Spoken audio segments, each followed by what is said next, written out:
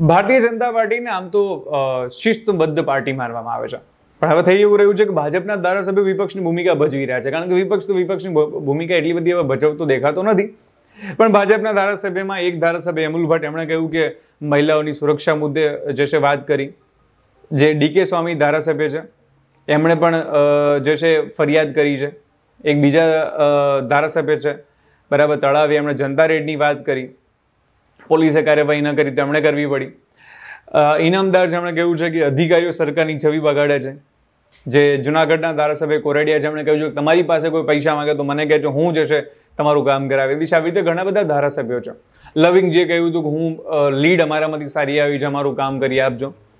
આવા તો અરવિંદ લાડાણી અધિકારીને નીચે બેસાડીને કહી દીધું તમારા વહીવટદાર તમારા તમારા ધારાસભ્યો સરકારને કે જાણવું જોઈએ કે આ ધારાસભ્યોને બધી ખબર છે કયા અધિકારીઓ શું કરે છે. તો એક એકને પકડીને પૂરી દો જેલમાં. એમની જોડે સત્તા છે, એમની જોડે સરકાર છે, ગૃહમંત્રી આદેશ આપે ડીજીપીને.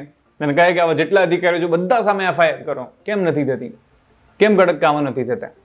કે પછી આની અંદર પણ ખાલી વિડીયોગ્રાફી ચાલે છે અને પત્રબાજી ચાલે છે, સોશિયલ મીડિયામાં બધું પીઆર ચાલે છે.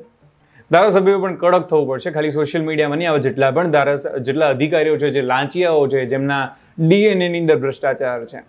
એ તમામને પકડી પકડીને જેલમાં પુરાવા માટે થઈને એમણે જ આગળ આવવું જોઈએ. લોકોને કહેવું પડશે કે એક પણ અધિકારી તમારા વિસ્તારમાં પૈસા માંગે, તો મારો નંબર નોટ કરી લો, મને વોટ્સઅપ કરજો, ફોન કરજો મેસેજ કરજો, ગમે કરજો, હું તમારી જોડે આવીશ ને તમને ન્યાય અપાવીશ. તો જ તમે સાજા પ્રજાના સેવક ગણાશો.